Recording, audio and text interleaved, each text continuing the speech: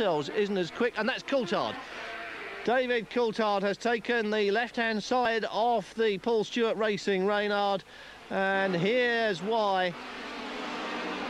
Clips that curb, breaks contact with the ground, the aerodynamics have stopped working, and he's lost it, round it goes.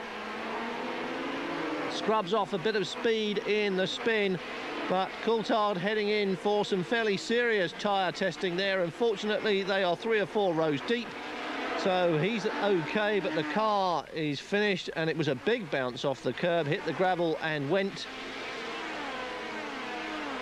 180 degrees and sideways into the tyre wall.